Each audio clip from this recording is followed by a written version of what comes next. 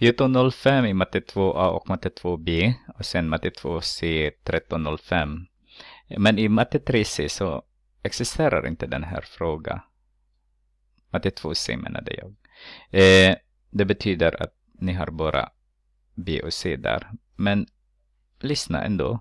Vi skulle bestämma ekvationen för den här. Alltså börjar vi i 1, 2, 3, 4. Så börjar vi i 4. Så det betyder y är lika med, man börjar med 4.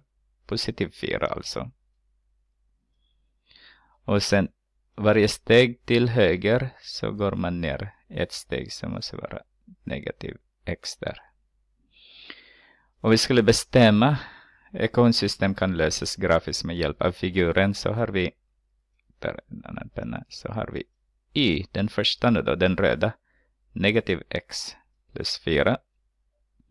Och den andra måste vara, den går igenom origo så m är 0. Men det går, varje steg går uppåt 1, 2, 3. 1, 2, 3. Så det måste vara KR3 och då så. De är det. Eh, lösningen då, C.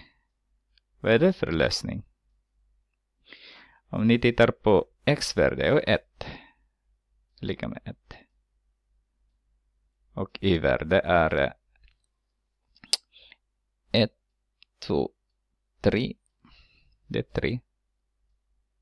Alltså den punkten har x-värde 1 och 1, 2, 3. Y-värde 3.